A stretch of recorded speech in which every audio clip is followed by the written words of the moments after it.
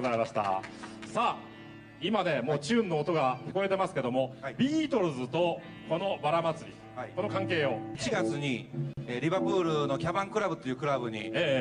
えー出演しまして、はい。その時にあの楽屋であの一緒になりましてね、ええ。まあ、友達になりまして、まあ、イギリスのあの花がバラということで、んうんうん。まあ、バラが縁で、ん。はい。えー仲良くなりまして。でこの度バラ祭りに来てくれと、ええ。いうことであの、言ったらよし行って行ってもいいよっていうことで今日。はい。宇田さんなんかだからビートルズのコピーをやってらして、はい。あのビートルズがデビュー当時出ていたキャバンクラブっていうところにみんなが集まるんですか？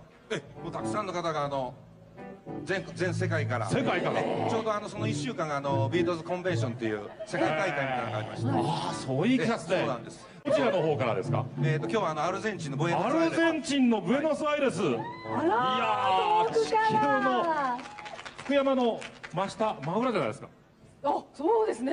そうです。25時間かかりましたうわーすごいですね。皆さんはあのビートルズ世代の方もいらっしゃる。僕なんかは大体ビートルズ世代なんですよね。ベンチャーズとビートルズ世代なんですけど、はい。はいちょっと上のプレスリーの世代もいらっしゃると思いますが、ええ。でもビートルズの歌は皆さんよくご存知だと思いますんで。そうです名曲揃いですもん楽しんでねいただきたいとそう思います。ですね。は、はい。い早速行ってよろしいでしょうね、大丈夫でしょうか？おジョンもポールも。おなんか。リンゴもジョージもおりますね、え。さあそれでは演奏お願いします。Let's go!